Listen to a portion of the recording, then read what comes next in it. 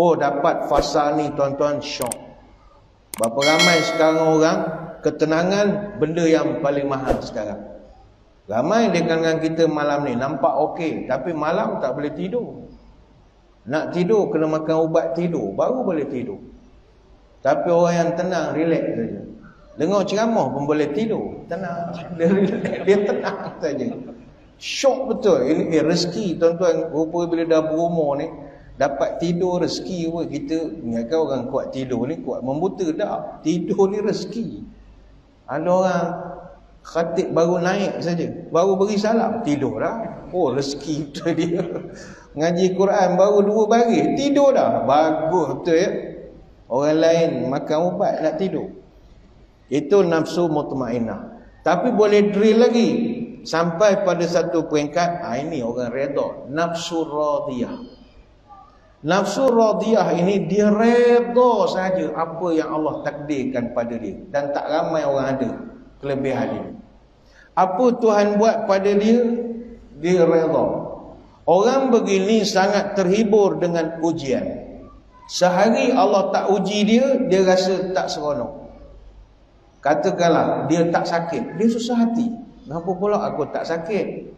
Sebab sakit ni kan tanda kasih sayang Allah. Dia risau pula dia tak sakit. Orang lain sakit nak bunuh diri lah. Ngapalah apa sakit, sakit, apa sakit. Tak, dia heran ngapa dia tak sakit. Sebab bagi dia ujian Allah adalah hadiah daripada Allah. Orang begini kalau kita tampar dia pipi kanan, dia suruh kita tampar pula pipi kiri. Agaknya lah, dia sangat. Jenis sabarnya tinggi, nafsu radiyah. Atas lagi namanya nafsu mardiyah.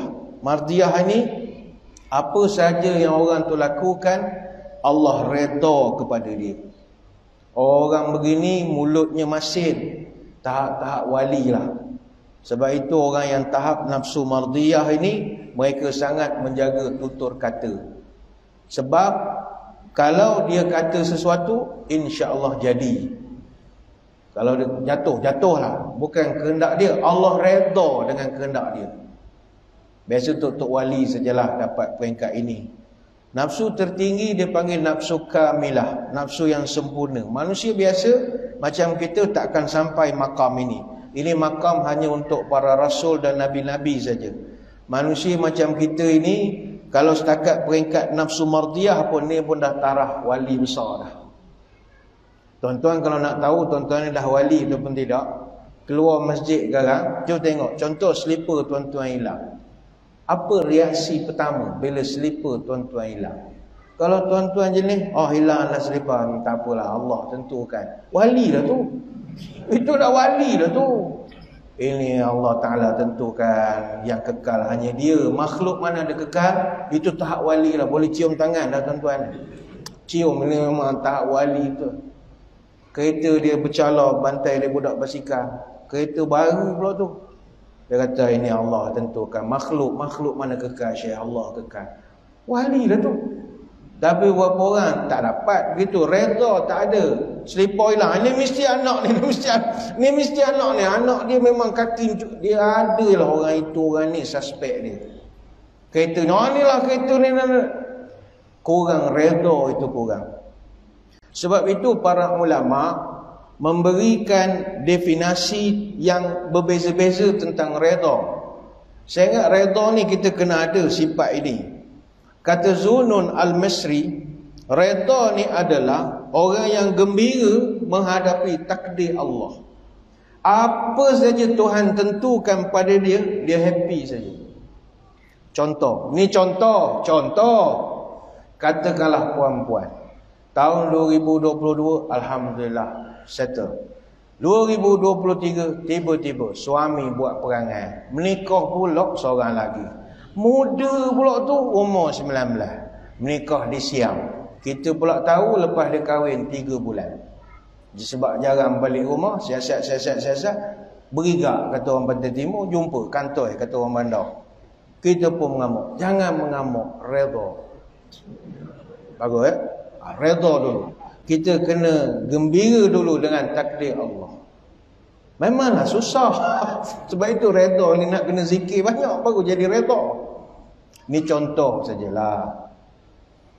Kata Ahmad bin Ujaibah dalam kitab Mi'rajut Tasawuf ila Haqa'iqit Tawassuf katanya, reda ini adalah menerima apa saja musibah dengan wajah yang tersenyum. Apa saja musibah.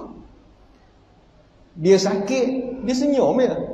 Orang lain pula menangis, selok daripada dia lagi. Dia relax je. Orang dapat doktor beritahu dia ni ada kanser kolon. Contoh, contoh nak na'udzubillah. Isteri merawang anak, merawang kawan-kawan semua sedih. Allah muda lagi, baru 50 dah kena kanser. Dia relax je. Dia senyum je. Ini orang dah makam redha. Ah, nanti Allah Ta'ala nak gurau dengan aku. Tak hanya lah, insyaAllah. Dia dah redha. Payah sampai makam itu. Kata Al-Muhasib.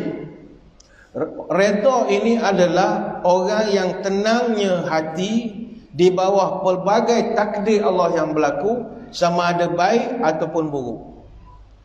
Tenang saja. Kata Ibn Atta'illah As-Sakandari, dia pengarang kitab hikam yang terkenal.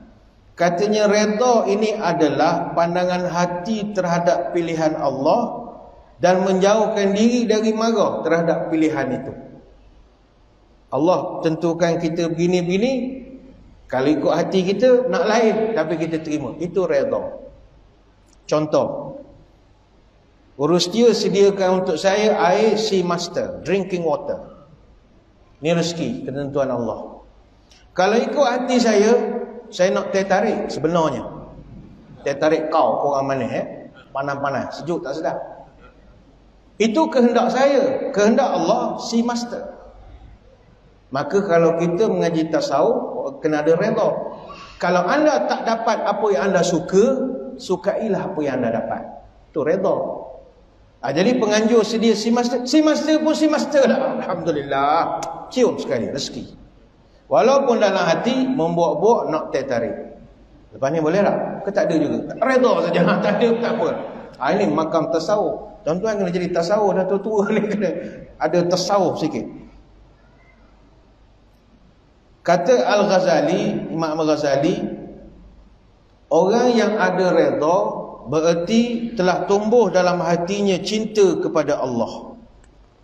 Apabila dia belajar saja redha, dia sedang mengajar dirinya cinta kepada Allah. Baik itu jangan cakaplah I love you Allah. I love Allah. Kalau ketentuan Allah engkau tak boleh terima, tak ada love.